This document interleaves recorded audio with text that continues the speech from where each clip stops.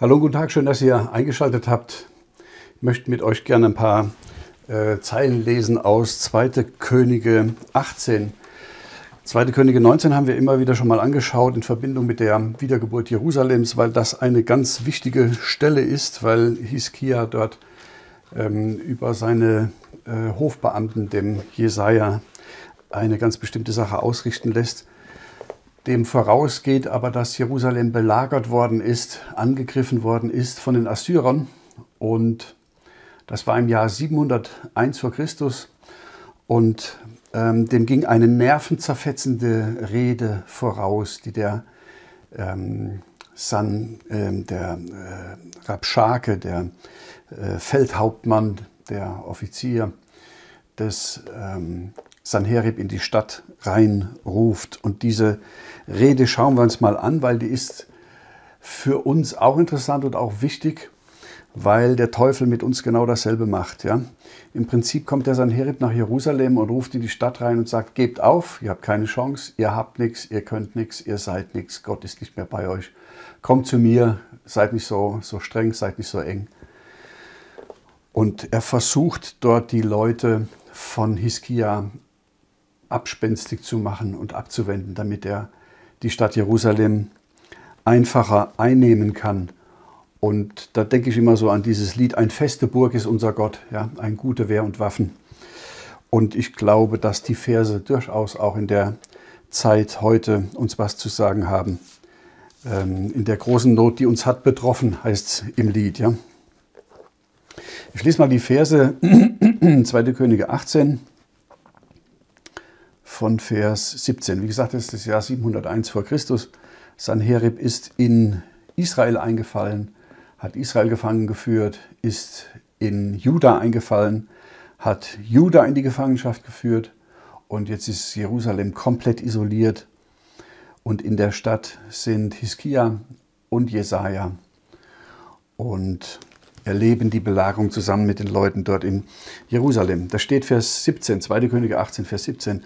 Und der König von Assyrien sandte den Tartan, das ist praktisch der oberste Heeresleiter, und den Erzkämmerer und den Erzschenken oder den Rabschaken, sagt die Elberfelder Bibel, das ist praktisch so der Minister, der stellvertretende ähm, äh, Offizier für den äh, Sanherib, ähm, sandte sie von Lachis zum König Hiskia mit großer Macht gegen Jerusalem.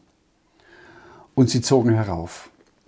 Da ist jetzt die Frage, waren das jetzt 185.000 Soldaten, ja, wie man, man später dann ja auch liest, die der Engel in einer Nacht äh, getötet hat und dann der Sanherib wieder unverrichteter Dinge nach Hause gehen musste? Oder war das nur eine Vorhut, die er geschickt hat?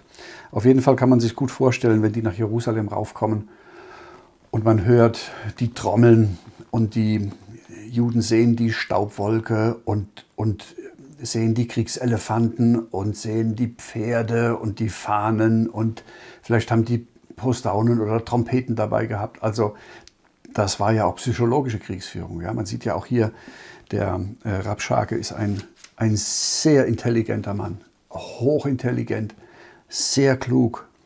Und ähm, ich könnte mir vorstellen, dass die da eine riesen Kulisse aufgebaut haben.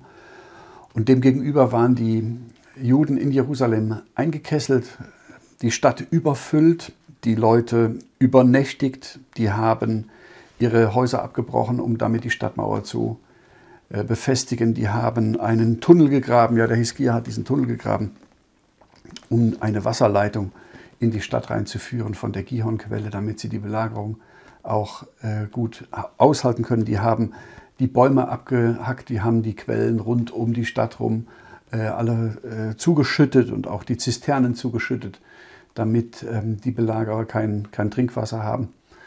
Und die sitzen jetzt in der Stadt Jerusalem ohne Aussicht auf auch nur irgendeine Chance zu überleben.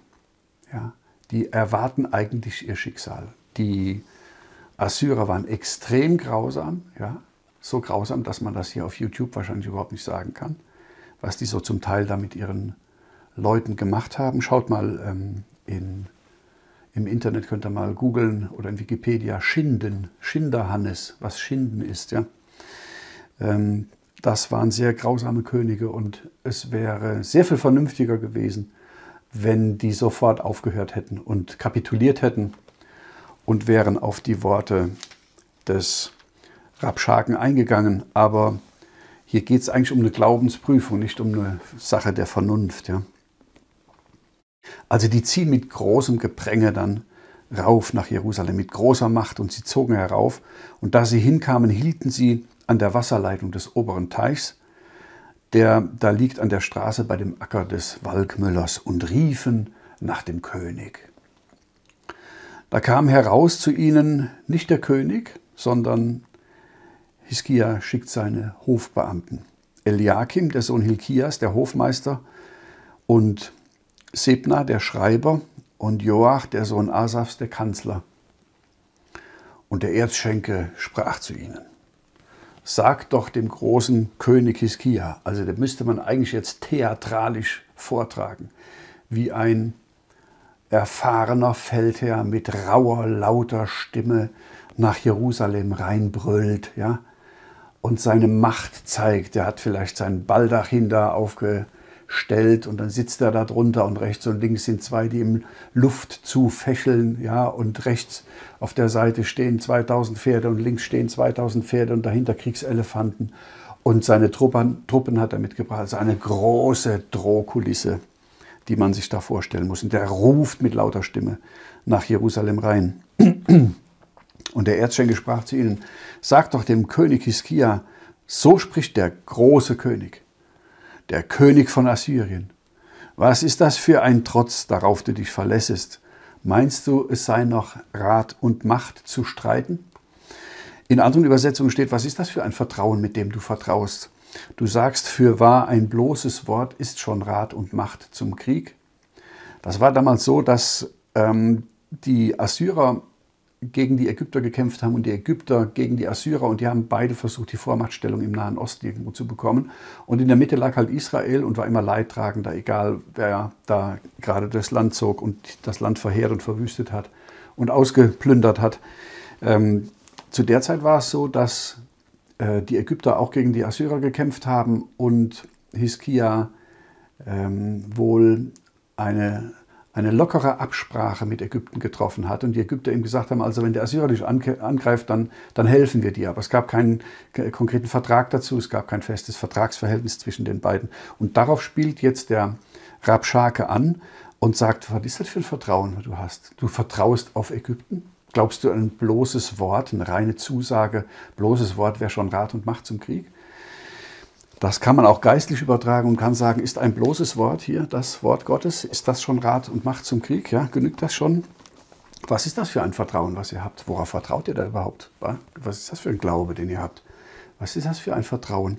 Reicht euch dieses Wort hier? Ist das schon genug? Ja? Ist es das, worauf ihr euch verlasst? Worauf verlässest du denn nun dich, dass du mir abtrünnig geworden bist? Ja? Verlässt du dich auf die Bibel? Ich übertrage das ein bisschen, ja? Verlässt du dich auf die Bibel? Verlässt du dich auf Gottes Wort? Warum bist du mir abtrünnig geworden, dem König der Welt, dem König der ganzen Erde? Wieso bist, wieso seid ihr Christen mir abtrünnig geworden? Worauf verlasst ihr euch, ja? Das ist so die Übertragung, die wir ein bisschen auch während der Verse hier so ein bisschen auch, auch machen wollen, ja? Siehe, du verlässt dich auf diesen zerstoßenen Rohrstab auf Ägypten, welcher, so sich jemand darauf lehnt, wird er ihm in die Hand gehen und sie durchbohren. Ja, also wenn man sich auf einen Stock abstützt ja, und der bricht, dann, dann, dann fahren einem die Splitter in die Hand vom Holz. Ja. Darauf sprich, spricht er an. Ja. Ähm, so sich jemand darauf lehnt, wird er ihm in die Hand gehen und sie durchbohren. So ist Pharao der König in Ägypten allen, die sich auf ihn verlassen. Ja. Das Erste, was er eben einfach mal nimmt, ist die, das Vertrauen ähm, ins Wort Gottes. Natürlich damals politisch gesehen ins, in die Zusage äh, durch Ägypten, dass Ägypten ihm helfen wollte. Darauf spielt auch mal Jesaja an in einer Stelle. Aber im Wesentlichen geht es hier, ähm, oder im, im geistlichen äh, übertragenen Sinn geht es hier eigentlich um die Zusage. Ich denke, das dürfen wir auch so anwenden, ja, auf Gottes Wort. Ähm, weil wir uns nämlich abtrünnig gemacht haben vom König dieser Welt. Ja? Das ist die Stellung der Christen in der Welt. Und dann geht es weiter in Vers 22. Da fängt er jetzt an und da wird es jetzt kritisch. Da sät er Zweifel an der Gegenwart Gottes. Ob ihr aber wolltet zu mir sagen, wir verlassen uns auf den Herrn, unseren Gott, ist es denn nicht der, dessen Höhen und Altäre Hiskia hat abgetan und gesagt zu Juda und zu Jerusalem, vor diesem Altar, der zu Jerusalem ist, sollt ihr anbeten? Ja, der, der Rabschake kennt sich sehr gut aus. Der hat seinen Gegner sehr, sehr gut studiert und der weiß sehr genau, ähm, was die Herzen der Männer auf der Mauer bewegt, ja, und die dort eingeschlossen in Jerusalem. Der kennt die sehr genau. Und der sagt zu ihnen, äh, ihr habt doch die ganzen Götzenaltäre abgetan. Hiskia hat euch doch das geraten. Ja, äh, der Gott, den ihr anbetet, den ihr gewohnt seid, den ihr von Kind an kennt, äh, der ist gar nicht mehr bei euch. Ja, der ist beleidigt, weil ihr habt ja die Altäre von ihm zerstört. Und ihr verlasst euch ja nur noch auf den Gott in, in Jerusalem und, und äh, den Gott eurer Jugend, den ihr vielleicht früher im Norden Israels angebetet habt. Ja? Denn da sind ja viele Leute ähm, aufgrund der vorrückenden Truppen ähm, von, von Assyrien, die nach Süden gedrückt haben, sind viele aus dem Norden Israels dann weiter nach Süden auch dem ausgewichen und sind irgendwann nach Jerusalem gekommen und haben sich dann in Jerusalem Zuflucht gesucht und deswegen war Jerusalem da sehr bevölkert auch. Ja? Und im Norden Israels gab es halt immer wieder diese götzendienerischen Altäre. Und er sagt, wieso, die habt ihr doch alle abgebrochen. Gott ist überhaupt nicht bei euch. Und dann fängt er an und sagt, dann provoziert er sie, ja, er provoziert ihr Ehrgefühl, der lockt die aus der Reserve. Er sagt wohl an, nimm eine Wette an mit meinem Herrn, dem König von Assyrien. Ich will dir 2000 Rosse geben, ob du könntest Reiter dazu stellen. Ja, der macht eine Wette, sagt, komm, wir wetten. Das ist ein frecher Mann. Ja, das ist ein ungehobelter, ungehöriger, kluger Mann, ähm, wie der Feind auch ist. Klug, ungehobelt, schmutzig, frech, laut, ungeschlacht. Ja, der, der Fürst dieser Welt, der steht vor den Mauern Jerusalems und der schreit nach Jerusalem rein. Und provoziert sie auch. Ja? Der will gerne, dass die sich äußern, dass einer sagt, ah, wir haben aber 3000 äh, äh, Reiter hier bei uns in der Stadt, ja? sodass er Informationen bekommt von den Eingeschlossenen in Jerusalem. Ja? Der versucht ja aus der Reserve zu, das ist klug, was der macht. Ja? Aber Hiskia hat gesagt, schweigt stille, sagt nichts. Hiskia war zu der Zeit ein junger Mann, ja, der ist mit 25 ist er König geworden. Hier ist er 29 Jahre alt, ein kluger Mann, ja, für seine äh, für seine Jugend. Also der hat sich sehr, sehr gut da vorbereitet und ähm, der wusste auch, was auf Jerusalem zukommt. Und wir machen Fortsetzung in äh, einer weiteren Folge, wo wir die Verse dann noch weiter anschauen. Das ist hochspannend, was hier abläuft. Diese, die Luft ist geladen, die ist elektrifiziert. Ja? Ähm, und der Ausgang dessen, was wir hier lesen, ist etwas sehr, sehr Schönes und sehr, sehr Mutmachendes. Auch für uns, die wir uns vielleicht manchmal so vorkommen wie die Israeliten wie die Juden, wie die Jerusalemer Bürger in der Stadt, die eingeschlossen waren. Aber Gott hat seine Lösung dafür, Gott hat seine Wege für sein Volk damals gehabt und hat es auch heute für uns, ja, für unsere Situation. Dürfen wir festhalten daran, ich glaube, sind ermutigende Verse und wir machen in der zweiten Folge dann weiter. Bis dahin wünsche ich alles Gute, Gottes Segen und bis bald.